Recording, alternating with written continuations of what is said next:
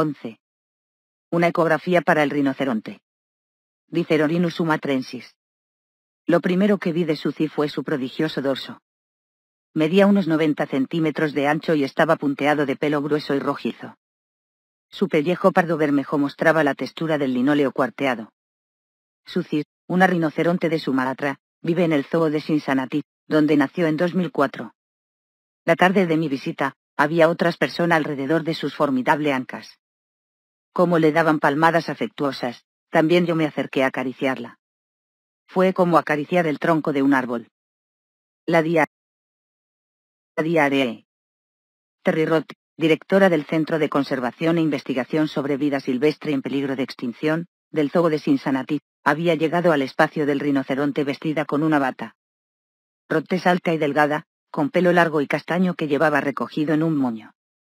Se colocó un guante de plástico transparente que estiró sobre el antebrazo derecho, hasta más arriba del codo, casi hasta el hombro. Uno de los cuidadores de Sucil envolvió la cola en algo parecido a un film transparente y la sostuvo a un lado. Otro cuidador cogió un balde y se colocó junto a la boca de Suzy. Me resultaba difícil ver nada por encima de las ancas, pero me dijeron que le estaba dando al rinoceronte rodajas de manzana, y pude oír cómo las masticaba. Mientras Suzy estaba distraída, Ruth se puso un segundo guante encima del primero y agarró algo que parecía un mando de videojuego. Entonces introdujo el brazo en el ano del rinoceronte. De las cinco especies de rinoceronte que todavía existen, el rinoceronte de Sumatra, Dicerorinus sumatrensis, es el más pequeño y, en cierto sentido, el más viejo. El género Dicerorinus surgió hace unos 20 millones de años, lo que significa que el linaje del rinoceronte de Sumatra se remonta, relativamente sin cambios, al Mioceno. Los análisis genéticos han puesto de manifiesto que es el pariente vivo más cercano del rinoceronte lanudo que, durante la última edad de hielo, se podía encontrar desde Escocia hasta Corea del Sur, 207, E.O. Wilson, que en una ocasión pasó una noche en el zoo de Cincinnati con la madre de Suzy y conserva un mechón de su pelo sobre su escritorio, ha descrito el rinoceronte de Sumatra como un fósil viviente. Punto, 208. Los rinocerontes de Sumatra son animales tímidos y solitarios que en estado salvaje buscan los matorrales densos. Tienen dos cuernos, uno de mayor tamaño en la punta del hocico y otro menor detrás de este, y un labio superior en punta, que utilizan para coger hojas y ramas de los árboles. La vida sexual de estos animales es, por lo menos desde una perspectiva humana, del todo impredecible. Las hembras son lo que se conoce como ovuladoras inducidas, no liberan un óvulo mientras no perciben que a su alrededor hay un macho elegible. En el caso de Sucid, el macho elegible más cercano está a 16.000 kilómetros de distancia, y por eso estaba rota allí, con el brazo metido en el recto del rinoceronte. Alrededor de una semana antes, Suzy había recibido una inyección de una hormona diseñada para estimular sus ovarios. Unos pocos días más tarde, Rota había intentado inseminarla artificialmente, un proceso que implicaba introducir un tubo largo y fino a través de los pliegues del cuello uterino de Suzy para luego bombear a través del lumbial de semen descongelado. De acuerdo con las notas que Rota había tomado entonces, Suzy se había portado muy bien durante el procedimiento. Ahora había llegado el momento de la ecografía de seguimiento. En la pantalla de un ordenador colocado junto al hombro de Roth comenzaron a aparecer unas imágenes granuladas. Roth localizó la vejiga de Suzy, que apareció en la pantalla como una burbuja oscura, y prosiguió. Su esperanza era que un óvulo que había visto en el ovario derecho de Suzy en el momento de la inseminación se hubiera liberado por fin. De ser así, había una, posibilidad de que Suzy quedase embarazada pero el nuevo seguía allí donde Roth lo había visto la última vez, un círculo negro contra una nube gris. Su cino ovulado, anunció Rota la media docena de cuidadores del zoo que habían venido a ayudar. Para entonces, el brazo entero de Rot había desaparecido en el interior del rinoceronte. El grupo soltó un gemido colectivo. Oh, no, dijo alguien. Rot sacó el brazo y se quitó los guantes. Aunque claramente decepcionada por el resultado, no parecía sorprendida. El rinoceronte de Sumatra se encontraba en otro tiempo desde las faldas del Himalaya, en lo que hoy es Bután y el noreste de India, hacia el sur por Myanmar, Tailandia, Camboya y la península malaya, así como en las islas de Sumatra y Borneo. En el siglo XIX todavía era tan común que se le consideraba un problema para la agricultura. A medida que se fueron talando los árboles del sureste de Asia, el hábitat del rinoceronte se fue encogiendo y fragmentando. A principios de los años 80, su población había quedado reducida a apenas unos cientos de animales, la mayoría en reservas aisladas de Sumatra, y el resto en Malasia. El animal parecía estar inexorablemente abocado a la extinción cuando, en 1984, un grupo de conservacionistas se reunieron en Singapur para intentar diseñar una estrategia de rescate. El plan que esbozaron requería, entre otras cosas, establecer un programa de cría en cautividad como seguro frente a la pérdida total de la especie. Se capturaron 40 rinocerontes, siete de los cuales se enviaron a parques zoológicos de Estados Unidos. El programa de cría en cautividad tuvo unos inicios desastrosos. En el plazo de menos de tres semanas, cinco rinocerontes de una instalación de cría de la Malasia peninsular sucumbieron a la tripanosomiasis, una enfermedad causada por unos parásitos que se dispersan a través de moscas. Diez animales se capturaron en Sabah, un estado de Malasia en el extremo oriental de Borneo, y de estos dos murieron a causa de heridas que recibieron durante la captura. Un tercero se lo cobró el tétanos. Un cuarto expiró por razones desconocidas, y, al final de la década, ninguno había producido descendencia. En Estados Unidos, la tasa de mortalidad fue incluso mayor. Los zoos alimentaban a los rinocerontes con heno, pero resultó que los rinocerontes de Sumatra no pueden vivir con heno, sino que necesitan hojas y ramas frescas. Para cuando se comprendió esto, solo seguían vivos tres de los animales enviados a Estados Unidos, cada uno en una ciudad diferente. En 1995, la revista Cancer Bayesian Biology publicó un artículo sobre el programa de cría en cautividad. Se titulaba Helping a Species Go Extinct, cómo ayudar a una especie a extinguirse. Aquel mismo año, en un último esfuerzo desesperado, los zoos del Bronx y de Los Ángeles enviaron los rinocerontes que les quedaban, ambas hembras, a Cincinnati, que tenía el único macho superviviente, y Put. Rod fue contratada para averiguar qué hacer con ellos. Al ser solitarios, no se podía tener a los animales en el mismo recinto, pero obviamente si no se ponían en contacto, no se podrían aparear. Rod se sumergió en el estudio de la fisiología del rinoceronte, recogiendo muestras de sangre, analizando la orina y midiendo los niveles de hormonas. Cuanto más aprendía, más se multiplicaban los retos. Es una especie muy complicada, me dijo cuando regresamos a su oficina, que está decorada con estanterías llenas de rinocerontes de madera, barro y felpa. Rapunzel, la hembra del Bronx, resultó ser demasiado vieja para reproducirse. Emmy, la hembra de Los Ángeles, parecía tener la edad adecuada, pero no ovulaba, un enigma que Rod tardó casi un año en resolver. En cuanto se dio cuenta de cuál era el problema, la rinoceronte tenía que notar la presencia de un macho a su alrededor, comenzó a organizar unas breves y muy vigiladas citas entre Emi y Put. Tras tontear unos meses, Emi quedó preñada. Pero abortó. Volvió a quedar preñada, y volvió a abortar. Esta pauta se repitió hasta un total de cinco abortos. Tanto Emi como Ipu desarrollaron problemas en los ojos, que Roth finalmente atribuyó a que pasaban demasiado tiempo al sol. En estado salvaje, los rinocerontes viven a la sombra de los árboles. El zoo de Cincinnati invirtió medio millón de dólares en unos toldos hechos a medida. Emi quedó preñada una vez más vez en el otoño de 2000. Esta vez, Roth le suministró unos suplementos hormonales líquidos, que el rinoceronte ingería con unas rebanadas de pan empapadas de progesterona. Por fin, tras una gestación de 16 meses, Emi parió a Andalas, un macho. Le siguió Suci, que significa, sagrado, en indonesio, y luego otro macho, Arapan. En 2007, Andalas fue enviado de vuelta a Sumatra, a una instalación de cría en cautividad en el Parque Nacional Uey Canvas. Allí, en 2002, fue padre de un macho llamado Andatu, el nieto de Eniliput. Su en el zoo de Cincinnati. Tomulman, zoo de Cincinnati. Los tres rinocerontes criados en cautividad nacidos en Cincinnati y el cuarto de Canvas obviamente no compensan los muchos animales que murieron durante aquellos mismos años pero han resultado ser prácticamente los únicos rinocerontes de Sumatra nacidos en cualquier lugar durante las últimas tres décadas.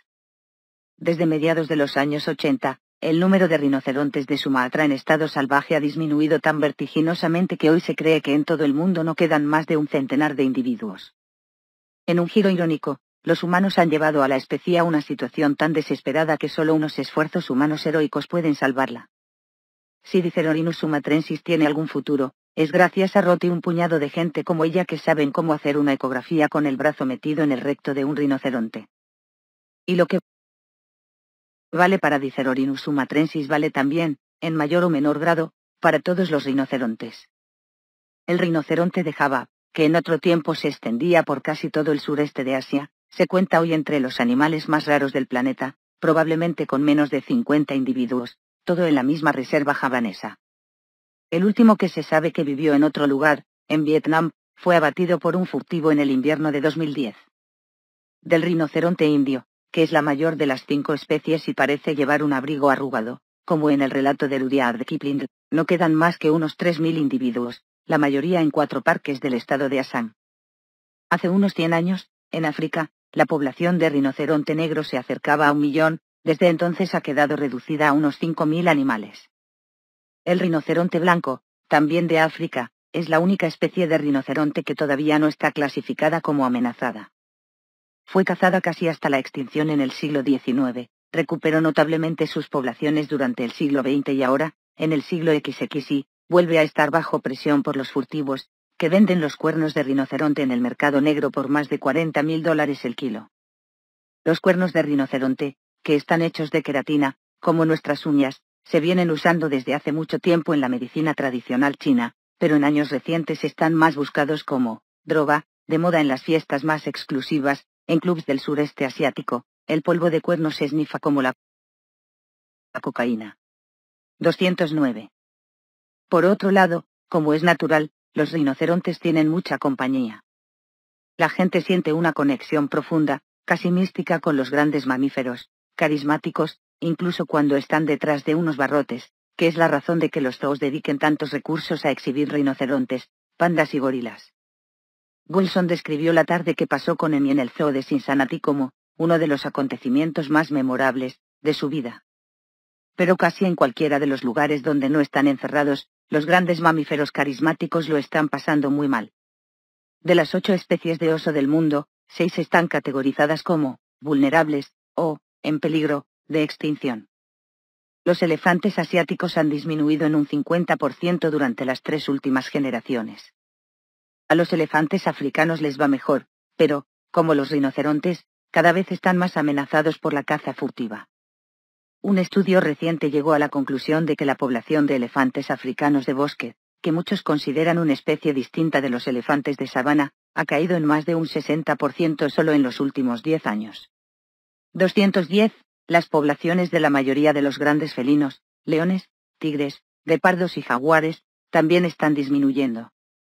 De aquí a un siglo, es posible que los pandas, los tigres y los rinocerontes solo sobrevivan en los zoos o, en palabras de Tom Lavioy, en reservas naturales tan pequeñas y vigiladas que podemos calificarlas de zoos. Punto 211. El día después de la ecografía de Suzy, fue a visitarla otra vez. Era una mañana fría de invierno, de modo que Suzy estaba confinada a lo que eufemísticamente se conoce como su establo, un cobertizo bajo de bloques de hormigón y lleno de lo que parecían celdas de una prisión. Cuando llegué, alrededor de las siete y treinta, era hora de comer, y Suzy estaba mascando unas hojas de ficus en uno de los compartimentos. Por término medio, según me comentó Paul Reinhardt, el principal cuidador de rinocerontes, Suzy se come unos 45 kilogramos de ficus que hay que traer en avión desde San Diego. El coste total de los envíos asciende a casi 100.000 dólares al año. Consume además varias cestas de fruta. Aquella mañana, el surtido incluía manzanas, uvas y plátanos. Suzy comió con lo que me pareció una determinación lúgubre. Cuando acabó con las hojas de ficus, comenzó con las ramas. Estas tenían alrededor de 3 a 5 centímetros de grosor, pero las masticaba sin más dificultad que una persona cualquiera que mordiera un prexal. Reinhardt me describió a Suzy como una buena mezcla entre su madre, Emmy, que murió en 2009, y su padre Iput, que todavía vive en el zoo de Cincinnati. Emmy, si había algún lío en el que meterse, se metía, recordaba. Suzy es muy juguetona. Pero también es más cerca, como su padre. Pasó por allí otro de los cuidadores, empujando una enorme carretilla llena de un humeante estiércol de color pardo rojizo, los excrementos de Suzy y Pu de la noche anterior.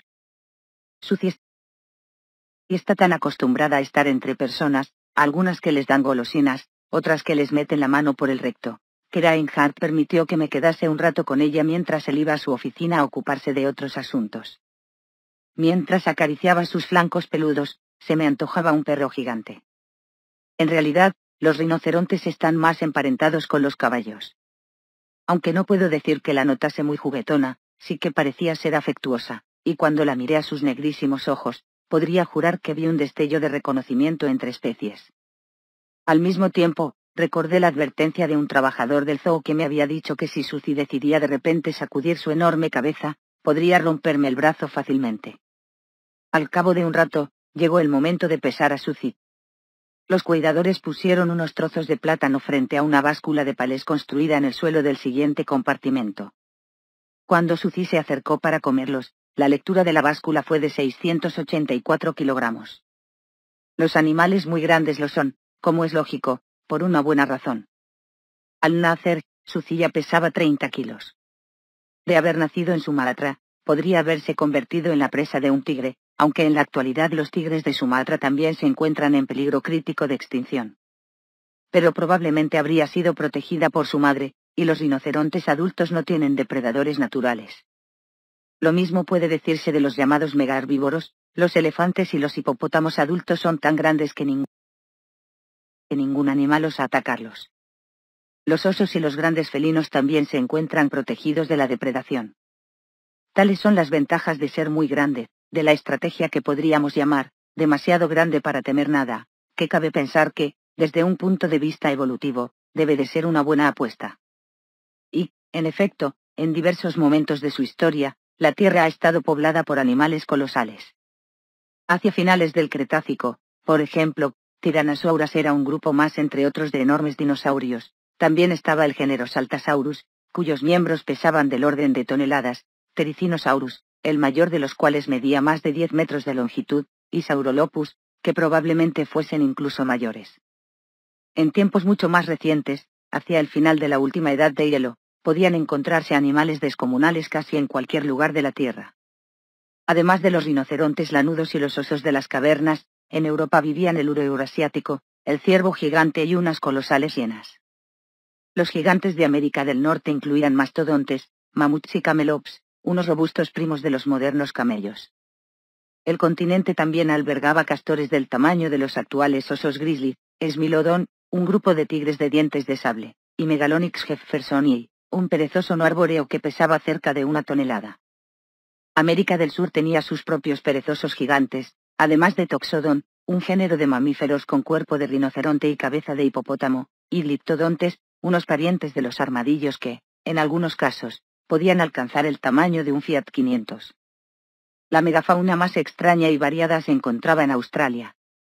Vivían allí protodontes, un grupo de pesados marsupiales coloquialmente conocidos como wombat rinoceronte, Tilacoleuca carnifax, un carnívoro del tamaño de un tigre que suele conocerse como león marsupial, y el canguro gigante de rostro corto, de hasta 3 metros. De altura. Incluso algunas islas relativamente pequeñas tenían sus propios monstruos. Chipre contaba con un elefante enano y un hipopótamo enano. En Madagascar vivían tres especies de hipopótamos pigmeos, una familia de enormes aves no voladoras conocidas como aves elefante, así como varias especies de lemures gigantes. La megafauna de Nueva Zelanda era notable por el hecho de estar formada exclusivamente por aves. El paleontólogo australiano Tim Flannery la ha descrito como una suerte de experimento conceptual hecho realidad, nos enseña cómo podría haber sido el mundo si hace 65 millones de años se hubieran extinguido los mamíferos con los dinosaurios, y las aves hubieran heredado el mundo. Punto. 212. En Nueva Zelanda, distintas especies de moa evolucionaron hasta llenar los nichos ecológicos que en otros lugares ocupan herbívoros de cuatro patas, como los rinocerontes o los ciervos. Las más grandes, la moa gigante de la isla norte y la moa gigante de la isla sur, alcanzaban casi cuatro metros de altura. Curiosamente, las hembras eran casi el doble de gigantes que los machos gigantes, y se cree que la tarea de incubar los huevos recaía en los padres. 213. Nueva Zelanda también tenía una enorme ave de rapiña conocida como águila de Hast, que cazaba mueguas y tenía una envergadura alar de casi 2,5 metros. ¿Qué pasó con todos aquellos animales gigantescos?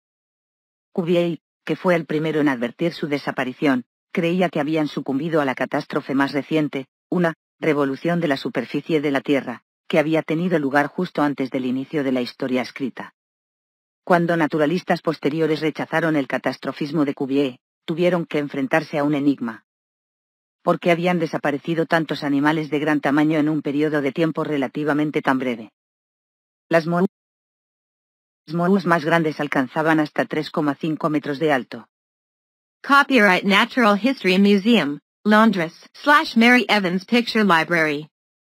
Vivimos en un mundo zoológicamente empobrecido, del que han desaparecido en tiempos recientes las formas más grandes, más feroces y más extrañas, observaba Alfred Russell Wallace. Y se trata, sin duda, de un mundo mejor para nosotros ahora que ya no están. Sin embargo, es un hecho decididamente prodigioso, y que apenas hemos investigado, esta repentina extinción de tantos grandes mamíferos, y no en un único lugar, sino en más de la mitad de la superficie terrestre del planeta. 214. Casualmente, el zoo de Cincinnati se encuentra a solo 40 minutos en coche de Big Bonelick, donde Longhill encontró el diente de mastodonte que inspiraría la teoría de la extinción de Cuvier. Hoy Parque Natural Estatal, Big Bonelick se anuncia como el lugar de nacimiento de la paleontología de vertebrados americana, y ofrece en su sitio web un poema que celebra su lugar en la historia. En Big Bonelick, los primeros exploradores hallaron esqueletos dicen que de elefante. Hallaron costillas y colmillos de mamuts lanudos. Los huesos.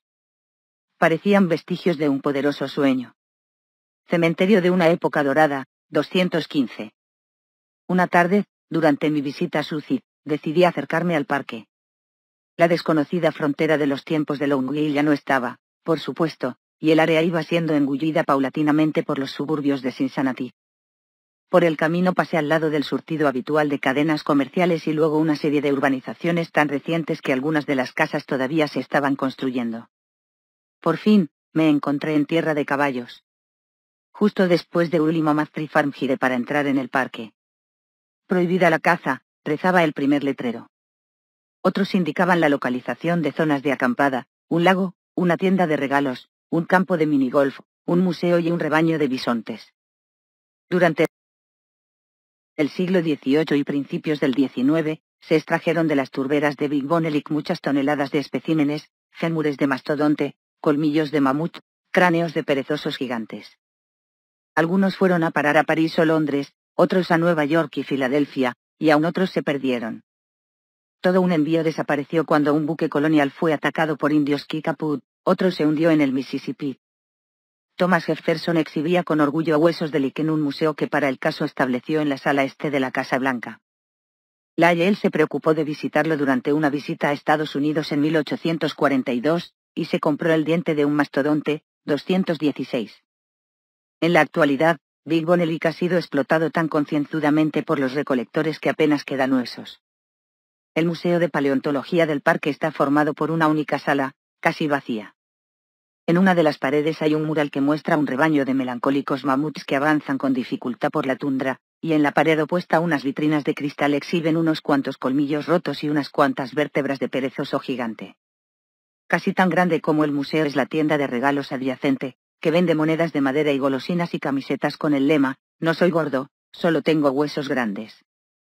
Una alegre rubia estaba en la caja cuando lo visité. Me dijo que la mayoría de la gente no comprendía la importancia del parque, venían solo por el lago y el minigolf que, lamentablemente, en invierno estaban cerrados. Me ofreció un mapa y me animó a recorrer el sendero de interpretación que comenzaba allí mismo. Le pregunté si podía mostrármelo, pero me contestó que no, que estaba demasiado ocupada. Por lo que sabía, éramos las dos únicas personas en todo el parque parque. Me dirigí afuera, hasta el sendero.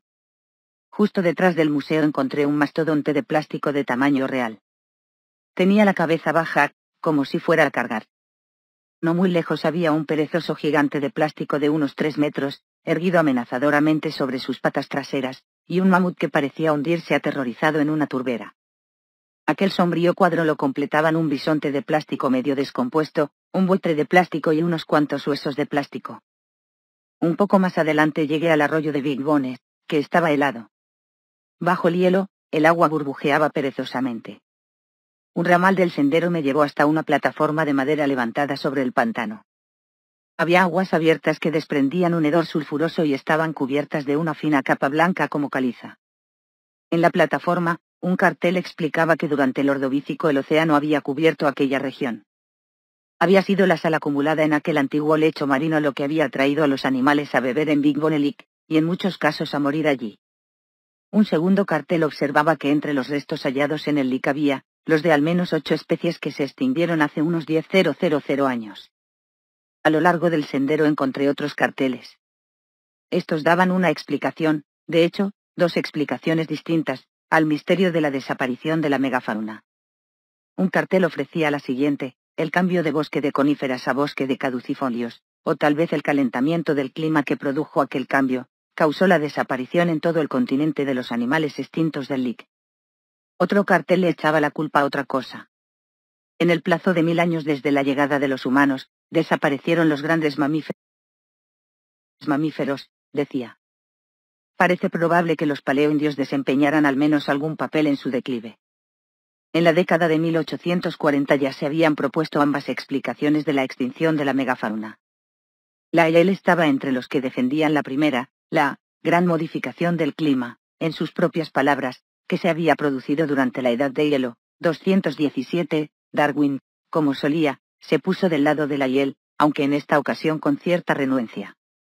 No me siento del todo cómodo con el periodo glacial y la extinción de los grandes mamíferos, escribió, 218, Tuallace, por su parte, en un principio defendió también una explicación climática. Debe de haber habido alguna causa física para este gran cambio, observó en 1876. Tal causa la encontramos en el gran y reciente cambio físico conocido como época glacial. 219, pero luego cambio de opinión. Tras examinar nuevamente la cuestión, escribe en su último libro, The World of Life, estoy convencido de que, la rapidez de la extinción de tantos grandes mamíferos se debe en realidad a la acción del hombre. Todo aquello, decía, resultaba, muy obvio, punto, 220. Desde la YEL, se le ha dado muchas vueltas a la cuestión, que tiene implicaciones que van mucho más allá de la paleobiología. Si el cambio climático causó la extinción de la megafauna, tenemos una razón más para preocuparnos de lo que estamos haciendo con las temperaturas globales. Sí, por otro lado, debemos culpar a los humanos, y cada vez parece más probable que sea así, las implicaciones son más perturbadoras incluso significaría que el actual evento de extinción comenzó ya en plena edad de hielo. Significaría que los humanos hemos cazado en exceso, o, por usar un término algo más técnico, hemos sobrecazado, básicamente desde siempre. Diprotodon optatum fue el mayor marsupial de todos los tiempos. AFP AFP barra Getty Millis barra Nuskaam. Hay toda una serie de indicios que respaldan, o más bien condenan, a los humanos como mejor explicación. Uno de ellos concierne a la coincidencia en el tiempo. La extinción de la megafauna, hoy ya no cabe duda, no se produjo de golpe, como la Yel y se habían creído, sino en pulsos. El primer pulso, hace unos 40.000 años, acabó con los gigantes australianos. Un segundo pulso golpeó América del Norte y del Sur unos 20.000 años más tarde. Los lemures gigantes, hipopótamos enanos y aves elefante de Madagascar sobrevivieron hasta la Edad Media, y las mueguas de Nueva Zelanda hasta el Renacimiento. Se hace difícil compaginar una secuencia así con un único cambio climático. La secuencia de los pulsos y la secuencia del establecimiento de los humanos, en cambio, se alinean casi a la perfección. Los indicios arqueológicos muestran que los humanos llegaron primero a Australia, hace unos 50.000 años. Solo mucho más tarde alcanzaron el continente americano, y solo miles de años después llegaron a Madagascar y Nueva Zelanda. Cuando se coteja críticamente la cronología de la extinción con la cronología de las migraciones humanas, escribe Paul Martín, de la Universidad de Arizona, en Prehistoric Overkill, su artículo pionero sobre el tema, la llegada del hombre se alza como única respuesta razonable, para la desaparición de la megafauna, 221. En un tono parecido, Gerard Gaiman ha observado, personalmente, no puedo imaginar que los gigantes de Australia hubieran sobrevivido a innumerables sequías durante las decenas de millones de años de historia australiana, y luego decidieran caer todos muertos casi al mismo tiempo y, casualmente, justo cuando llegaban los primeros humanos. Punto 222. Además de la cronología, hay fuertes indicios físicos que apuntan a los humanos. una parte de ellos se encuentra en forma de excrementos. Excrementos. Los megaherbívoros generan megacantidades de excremento, como bien sabrá cualquiera que haya pasado un rato detrás de un rinoceronte. El estiércol proporciona sustento a unos hongos conocidos como esporormiella. Las esporas de esporormiella son bastante pequeñas, casi invisibles a simple vista, pero muy duraderas. Todavía pueden identificarse en sedimentos que quedaron sepultados hace decenas de miles de años. Una gran cantidad de esporas indica una gran cantidad de herbívoros mascando y defecando alegremente, pocas esporas o ninguna sugiere su ausencia. Hace un par de años, un equipo de investigadores analizó un testigo de sedimento de un lugar llamado el YNCHS en el noreste de Australia. Encontraron que hace 50.000 años, los recuentos de esporormiega en el área eran elevados. Luego, de forma bastante abrupta, hace unos 41.000 años los recuentos de esporormiella cayeron casi hasta 0, 223, tras la caída, el paisaje comenzó a quemarse. Los indicios en este caso eran minúsculos granos de carbón vegetal. Después, la vegetación de la región cambió del tipo de plantas que se encuentran en una selva lluviosa a plantas más adaptadas a climas secos, como las acacias. Si el clima llevó a la megafauna a la extinción, el cambio de vegetación debería preceder la caída de esporormiella, primero habría cambiado el paisaje, luego los animales que dependen de la vegetación original habrían desaparecido. Pero había ocurrido justo lo contrario. El equipo llegó a la conclusión de que la única explicación que se ajustaba a los datos era la sobrecaza o, o ubarquil.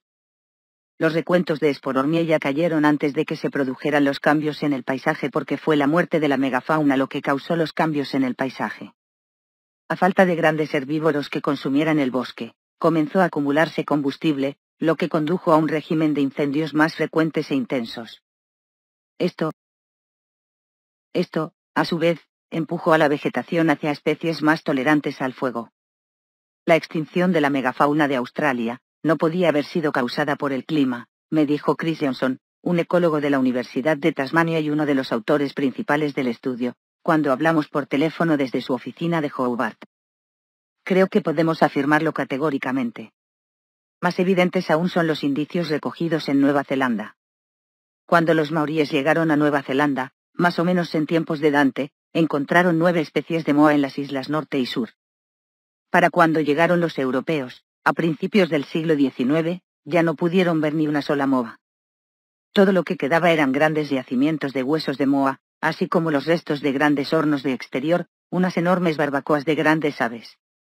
Un estudio reciente llegó a la conclusión de que las moas fueron eliminadas probablemente en cuestión de décadas.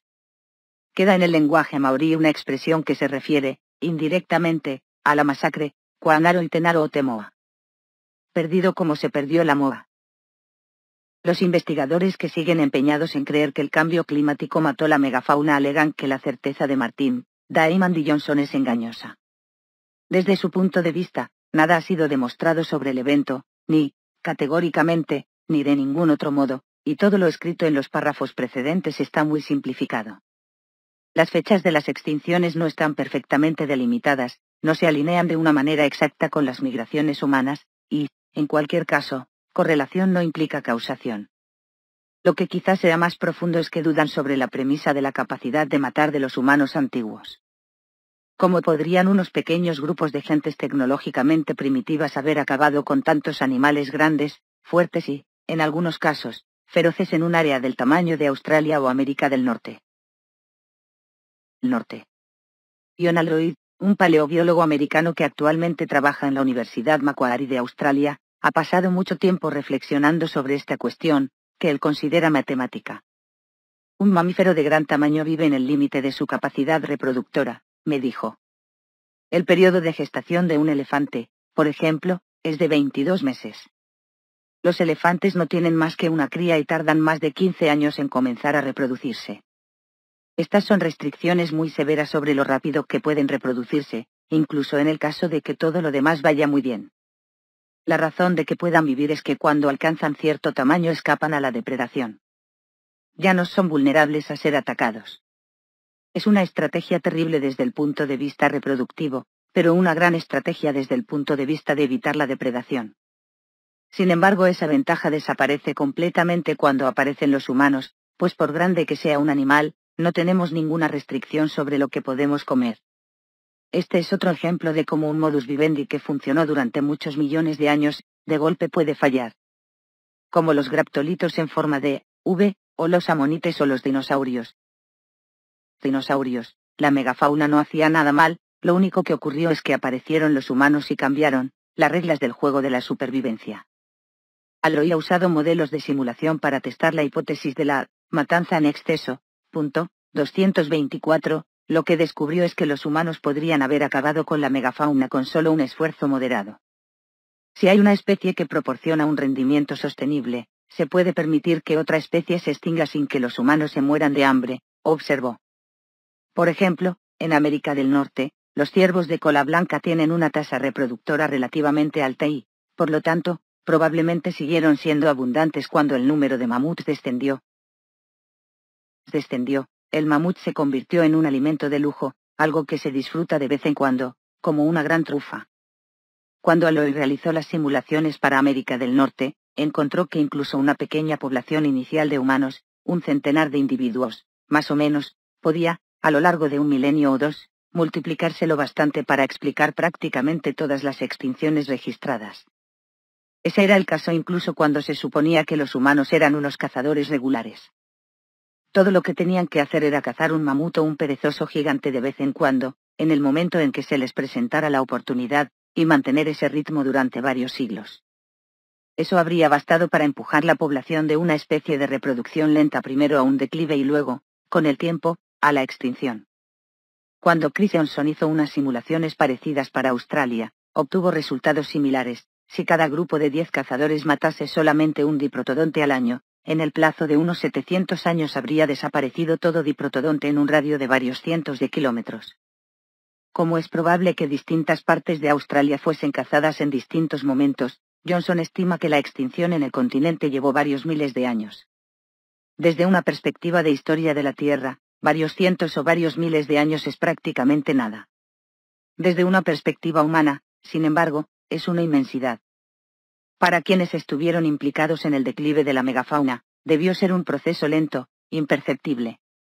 No habrían tenido manera de saber que cientos de años antes, los mamuts y los diprotodontes habían sido mucho más abundantes. Aloy ha descrito la extinción de la megafauna como una catástrofe ecológica geológicamente instantánea pero demasiado gradual para que pudieran percibirle a quienes la desataron, y que demuestra que los humanos somos capaces de llevar a la extinción prácticamente a cualquier especie de gran mamífero, aunque también seamos capaces de hacer todo lo posible por porque eso no pase. Punto 225. Suele decirse que el antropoceno comenzó con la revolución industrial, o incluso más tarde, con el crecimiento explosivo de la población que siguió a la Segunda Guerra Mundial. Según esta visión, los humanos solo nos hemos convertido en fuerzas capaces de alterar el mundo gracias a la introducción de las modernas tecnologías, como las turbinas, los ferrocarriles y las motosierras. Pero la extinción de la megafauna sugiere que no es así. Antes de que los humanos aparecieran en escena, ser grande y reproducirse lentamente era una estrategia de gran éxito, y los animales de enorme tamaño dominaban el planeta. Pero entonces, en lo que no pasa de ser un instante geológico, esta estrategia se convirtió en perdedora. Sigue siéndolo en la actualidad, y por eso los elefantes, los osos o los grandes felinos lo pasan tan mal y Suci es uno de los últimos rinocerontes de Sumatra que quedan en el mundo. Por otro lado, eliminar la megafauna no eliminó simplemente a la megafauna, en Australia al menos desencadenó una cascada ecológica que transformó el paisaje. Aunque sea bonito imaginar que hubo un tiempo en que el hombre vivía en armonía con la naturaleza, no está claro que eso haya pasado nunca. 12.